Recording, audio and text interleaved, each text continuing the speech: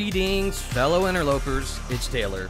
It was about April of last year, and I had just finished a video I was hoping would clear up much of the confusion about the spawn pools that multi-tools were swimming in.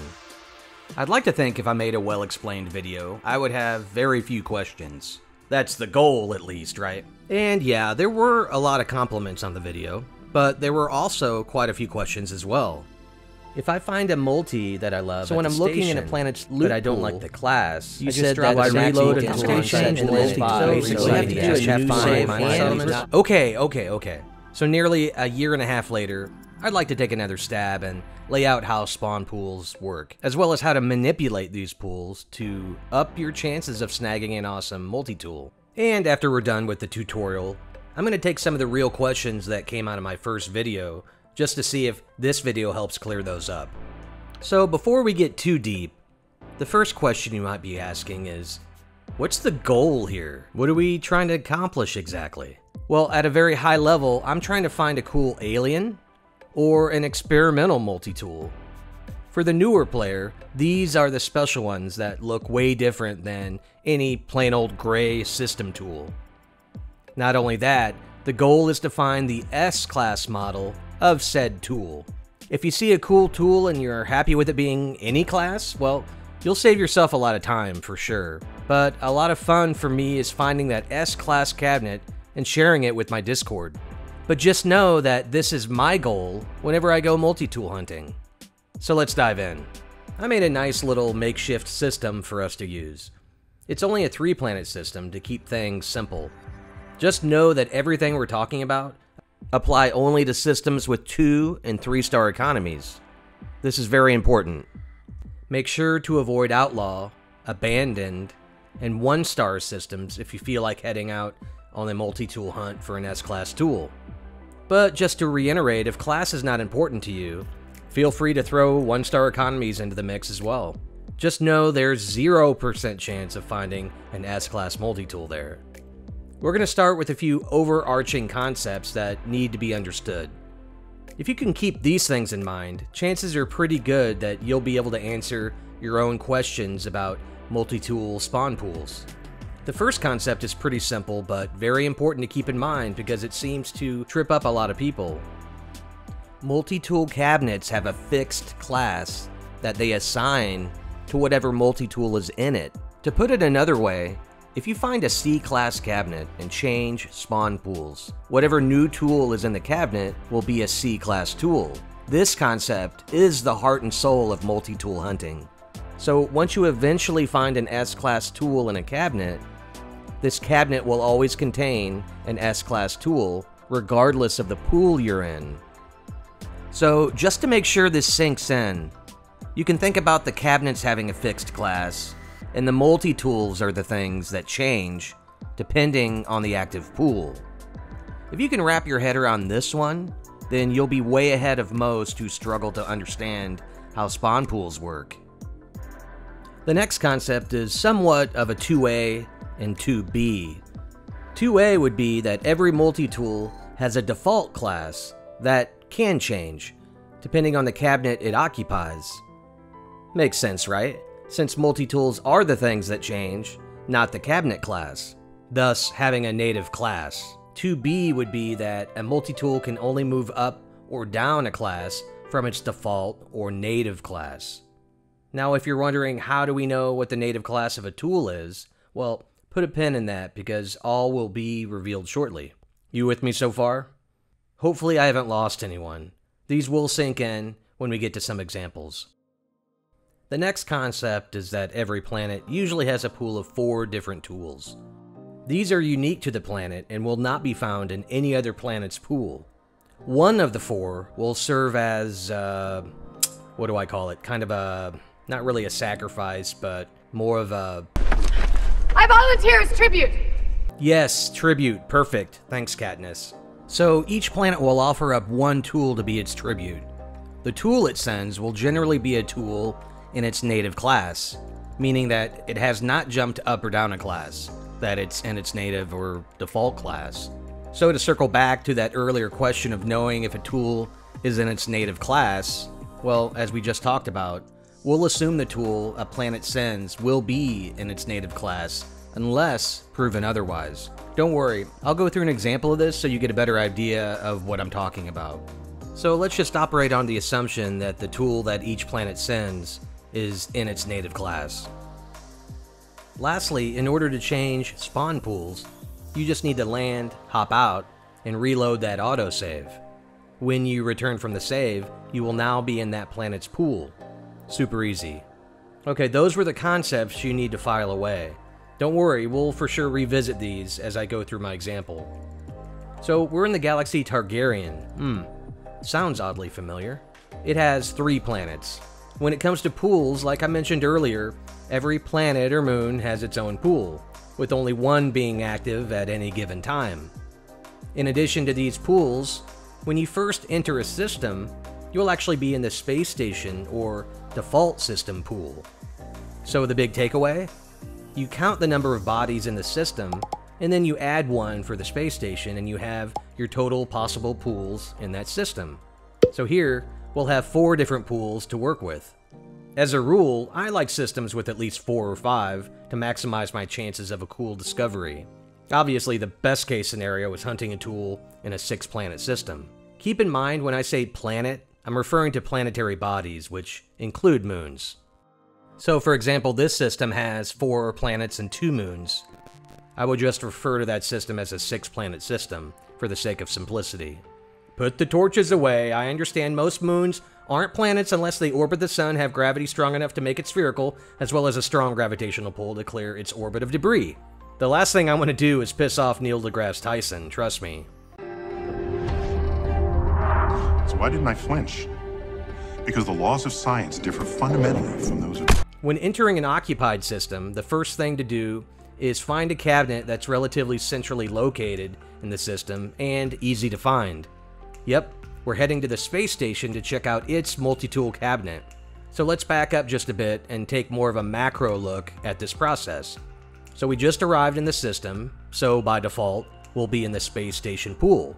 Going back to the core concepts of how spawn pools work, we know that each planet has one tool it will send to represent its pool in any given multi-tool cabinet. And since planetary pools are made up of a variety of classes, it's prepared in any situation to send the tool that only needs to stay the same, go up or go down one class.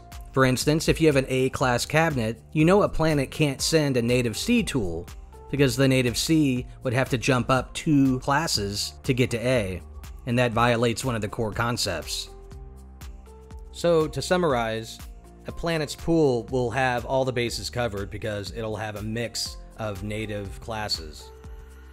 And since we also know that a tool's class can only move up or down a class, we're not interested in a space station cabinet that has a B or a C class, because a native B or C tool would be unable to make that jump to S.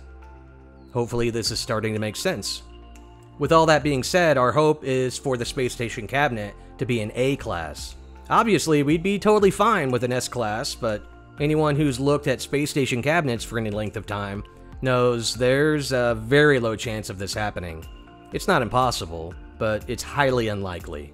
Because this is such an easy cabinet to find, and it's generally located at a central position in relation to the other planets, it makes the ideal cabinet to use for our test cabinet. Because there are, what, 18 quintillion planets? If I don't find an A or S cabinet in the space station, I'll just move on. But if you're feeling extra adventurous, you can certainly look for the A-class cabinet on one of the planets in the system. This would be the same concept as finding an A at the space station.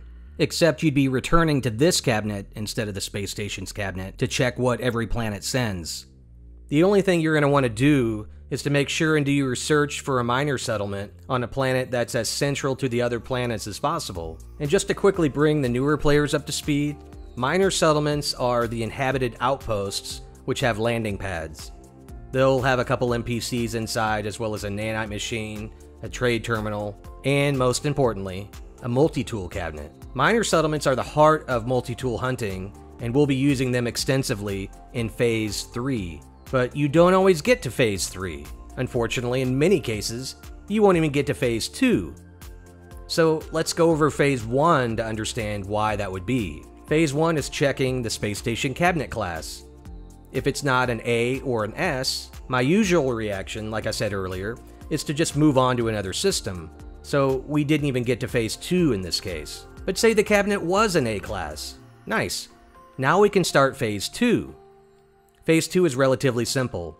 We're going to reload on every planet to activate that particular planetary pool, and then check the space station cabinet to see what that planet's pool sends as its tribute. Remember, we're operating under the assumption that a tribute is in its native class. So when we see that tool in the A class cabinet, we know it's possible for it to move up one into an S. So we'll check out Stark Omega first. We'll reload and travel back to the station. Nope, next planet. We head to Lannister Prime and reload and go check the cabinet. No, definitely not. Okay, our third and final planet. We go to Baratheon 51 L1 next. We'll reload and travel back to the station to check out the cabinet. Ugh, not good. If that tool could talk. I'm fun, I'm exciting, and I'm different. Well, I'll agree with the third. So, unfortunately, if our heart is set on getting an alien or experimental S class tool, this system will not be capable of producing it. The cold, hard truth is that this outcome is pretty common. But let's rewind and change the outcome of getting something we did want in an A class cabinet. Now we can move on to Phase 3. Phase 3 is looking for an S class cabinet in the system. Every planet has one, so it won't matter which planet we find it on. So, say we reloaded on Stark Omega, and we check the space station to find a really cool alien rifle. Since this spawned into the cabinet, we know this tool's native class is most likely an A. And since it can only move up a class, if we were to find the S-Class cabinet while we're in the Stark Omega pool, the cabinet will have this tool as an S-Class. And that's essentially the bare bones method for checking what the tribute tool for each planet is, as well as how to get it in an S-Class. The next portion I'll touch on are some tips to make the hunt easier. First off, let's go back to the situation where you checked the space station cabinet while in the default pool and saw it was just a B class. That's a bummer because you're currently in a six planet system. Well, the good news is you can still go on your hunt in this system, but you're going to have to find the A class cabinet. And then once you find the A class cabinet, if you liked any of those multi tools, you're going to have to then go on an S class cabinet hunt. Remember, the overall goal is to get a certain tool as an S class. The good news is the A class hunt will be a lot easier than the S. But hey, if you have a ton of extra nanites laying around, you can get a lower class and then just buy your way up. So let's continue in this scenario where you're looking for a cabinet. This will be the same whether you're looking for the A or the S cabinet. As I mentioned earlier, we'll rely on minor settlements for Phase 3. To find minor settlements, you'll need some nav data. This is the currency that the space station map vendor needs in order to give you maps to inhabited outposts, or other maps. You'll definitely want some nav data to start with. You can accumulate quite a bit along the way. And actually, when you're inside these minor settlements, check the terminal. In many cases, you can actually just flat out buy nav data. To make things easier, I would advise having at least like 20 maps to inhabited outposts to avoid having to return to the space station right away. But you can certainly get started with as few as 6 to 10. We'll be accumulating quite a bit of nav data, so you'll have plenty to use for future maps when you run out. For instance, at these settlements, you're going to want to visit these little containment areas because you'll get at least one out of these. There'll also be a little save area where once you do so, it rewards you with nav data. And finally, inside the minor settlement, there's usually a couple. So as you can see, you're going to accumulate nav data pretty quickly. Basically, the more maps you have starting out, the more efficient your hunt will be in the early stage of Phase 3. Finding an inhabited outpost is pretty easy, but there are some things to keep in mind. This map, once activated, will show you the location of six different types of outposts. These are observatories, trading posts, transmission towers, shelters, colossal archives, and of course, minor settlements. An effective way to start out is to find all six outposts a helpful game mechanic of these maps is that they'll only show you one variety of outpost at any given time. So once you visit a specific kind of outpost, the map will then be able to show you another one of that particular kind. If this sounds confusing, the takeaway is that once you've activated and located all six types of outposts, only visit the minor settlements, leave everything else undiscovered. From then on, since the others have not been visited, they will not trigger any future maps. So once you've visited your minor settlement, that will be the only type of outpost the map is able to lead you to, making things super simple. Hopefully this makes sense to you. If there's two words that capture Phase 3 the best, it would be rinse, repeat. You're going to activate a map to show a minor settlement. Land, check the cabinet, usually find it's not the class you want, so you'll activate another map to discover another minor settlement, land, check the cabinet, so on and so forth. Do you ever have deja vu, Mrs. Lancaster? I don't think so, but I could check with the kitchen. Your search is over once you found the S class cabinet. But just to finish this scenario of seeing a B class cabinet in the space station, for instance, but you want to look for the A class cabinet, this phase will end once you've located your A class cabinet. At this point, this is the same as finding an A class cabinet at the space station right away. The only difference is, you'll have to save and reload on every planet, and then fly back to this cabinet to check to see what tool was sent from the neighboring planets. Make sure to drop a save beacon so this is easy to do. So if you do find a cool tool, you'll now have the S-Class cabinet to look for, which is the same process as what you use to find the A. You might get lucky and actually stumble upon the S-Class while you're looking for the A. Oh man, this is always an awesome find, it just cuts out a ton of searching. But trust me, the odds are very low of this happening. Okay, how are we doing? Is your brain smoking yet? I truly hope all of this is making sense because I do have a few more pieces of info to improve the efficiency of your hunt. The first tidbit applies to the situation where you're looking for the A class cabinet.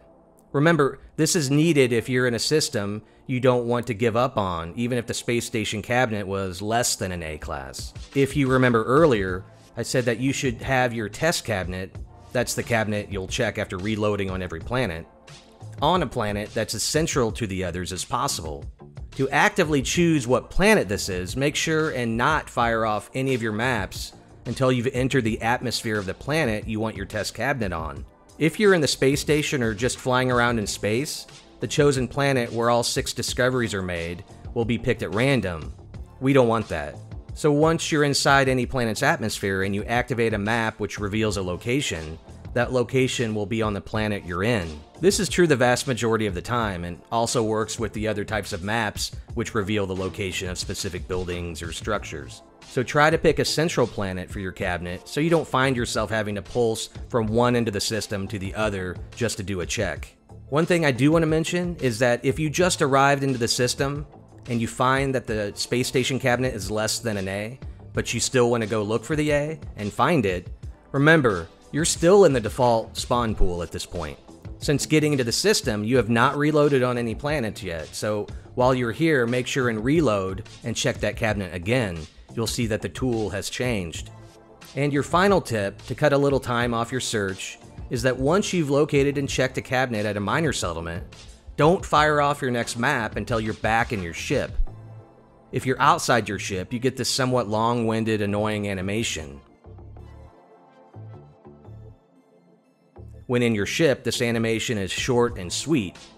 Now, if this seems trivial to you, then come back to me after you've checked your 75th cabinet.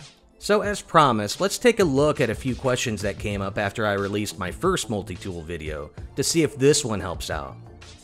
Okay, so Steve asks, if I find a multi-tool that I love at the station, but I don't like the class, do I reload at the station and then I basically just have to find minor settlements on the planets that spawn that particular tool and the class I want?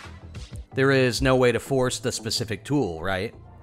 Well, I'll answer the second one first, and correct, there is no way to force a specific tool into a cabinet. Other than what we're doing here, of course. You just have to accept whatever the planet sends as its representative to go to the A or S class cabinet. So if you found the multi-tool that you love at the station, you'll want to stay in that pool, yeah? So if you're currently in one of the planet's pools, what do you think happens if you reload on the space station? If you said you would then switch the pool to the default or space station pool, you'd be correct. So if it was in a planetary pool, you're going to be in the wrong pool. But obviously, if this were in the default pool already, the pool wouldn't change, so it really wouldn't matter. You don't need to reload anymore. Remember, you only reload when you want to switch pools. So, depending on whatever pool you're in, whether it be a planet's or the default, do not reload because it's the right pool to be in because you like the tool. So, if you see this tool at a C class cabinet in the station, the best case scenario is that you can look for the B class cabinet. Remember, going back to our main concepts, a tool can only move up or down one class from its native class. Next up, we have Zemonium. They ask, how can I change the multi-tool inside the active pool? Not change the active pool, but the multi-tool inside the active pool. You said that the max of multi-tools inside a pool is 5. So I should find at least 5 minor settlements, with each having a different multi-tool? Well, I did select this question, first off, because it is a good question, but I was a little off on a part of my answer. Spawn pools consist of 4 tools. But let's specifically address the main part of that. We just need to circle back to one of the core concepts. A planet will only send one tool to any one cabinet. So say you're in a pool and you come across 50 C-class cabinets. Every single one of those 50 will be the same tool. There's nothing you can do to make the planet send a different tool to that cabinet. Now, if you found an S-class cabinet, the tool will have to change, right? Because the C-class native tool cannot go all the way up to an S. So in that case, the planet would need to send a different tool. Okay, our final question comes from Shinaldo. They want an explanation as to why they didn't find a specific tool they tried to get from the No Man's Sky coordinate exchange. Well, these are notoriously flaky after updates, so if you see a No Man's Sky coordinate exchange post and it's a couple years old, you can pretty much bet that things have changed. You might get lucky, it's not a given, but yeah, that's going to happen after updates. The second part of that is will the multi tool cabinet eventually respawn a new tool, or is it empty forever? Well, I would just say anytime you go multi-tool hunting, always make sure to have your multiplayer turned off. That's a super easy way to make sure the tool that you expect to be there will be there. But to my knowledge, yes, they do eventually spawn back in, but I'm not sure the timetable on that. Whew, so this video is pretty long, so I'm going to stop it there. I really hope this one successfully answers many questions you previously had. The next time you have a question about the process, just make sure and revisit the core concepts of spawn pools, and odds are you will find your answer. Thanks so much for watching. This is Taylor with Whisky Barrel Gaming. Have an S Class day, everybody.